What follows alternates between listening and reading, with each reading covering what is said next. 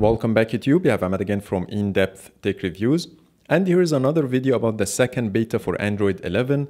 And this time I'm going to share with you some hidden features and the changes that I didn't mention in my previous video. And there are quite few of them. And that's why I decided to create another video. So let's check what are these new hidden features and the changes in the second beta of Android 11. But before getting started, let's make sure to subscribe and hit the bell icon to get notified every time I post a new video. So let's jump in.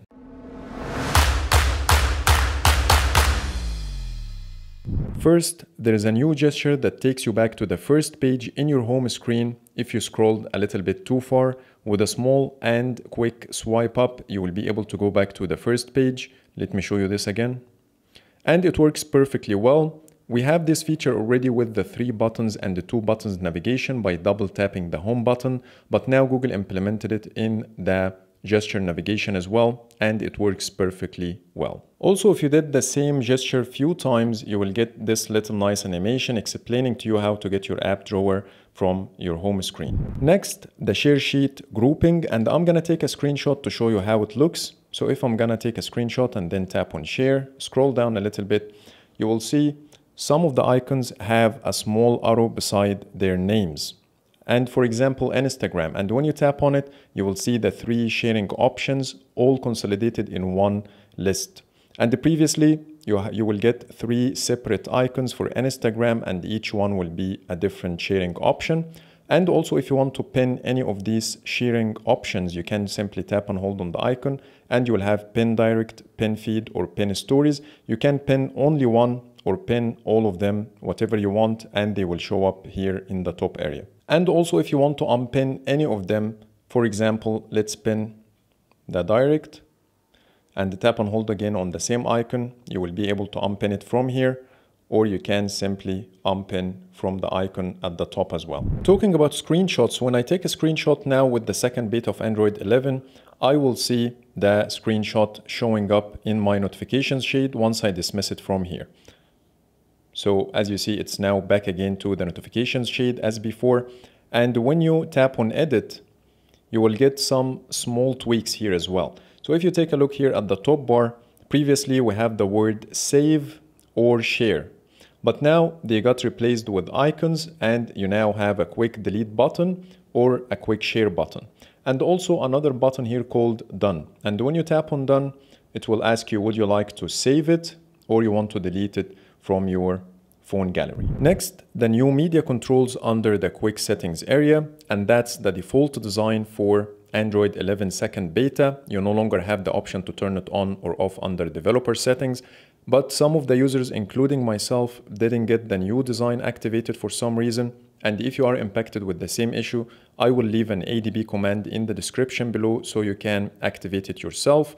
Also, if you are not happy with this design, I will leave another ADB command to turn it off and return back to the old design of Android 10. Talking about the new design, in the second beta of Android 11, there are some tweaks. First of all, when you tap on any of the buttons, you will get this nice animation. Also, you have this new button right here that will give you quick access to your output devices. And also, when it's minimized, it looks different. It, it's now consuming the full width of your notification shade. Previously, it will show up here on the top left corner as a square, but now it's taking the full width. And when you swipe down again, it will be a full card. Also, there is a new indicator here at the bottom.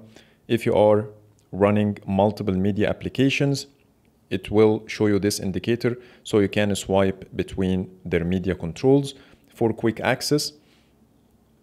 And also, if you are using YouTube Music, I found that I don't need to close the application if I want to get rid of the media controls of the YouTube Music app. All I need to do is to swipe down on the now playing screen and it will disappear from the top. So now I only have the Google Play Music app, but YouTube Music is now gone. Next, the now playing notification now has a new icon to view your history and it's showing here at the bottom right corner. Previously, when you expand it, you will get an, a button called the view history, but now it's an icon. And when you tap on it, it will do pretty much the same exact thing. Next, the dark theme looks darker than before. If you activated the dark theme and go to your app drawer, you will see it's completely black. It's no longer gray. and it used to be also a little bit transparent but now this is no longer the case it's a completely black background and that will save more battery. I'm not sure if that's part of the second beta or previous versions, but I'm sure that this is different from Android 10 at least. Next, the phone app notification is now green instead of blue. Also, the notifications history looks a little bit better in the second beta when you compare it with the previous versions of Android 11. Next, now under settings, you will see the Pixel Tips as a suggestion and when you tap on it, it will take you to the Pixel Tips app. And finally, the Google Photos app is back again to the new design after Google pushing an update in the Play Store without me doing anything. And if you may know, some users after installing the second beta reverted back to the old design of Google Photos, but this issue is now fixed. So that's pretty much it. Those are the hidden features and changes I managed to get my hands on after using the second beta of Android 11 for some time. Please let me know in the comments if you spotted any more features or changes. And I hope you like my video and if you do, please hit the thumbs up and subscribe for more videos. Thank you for watching.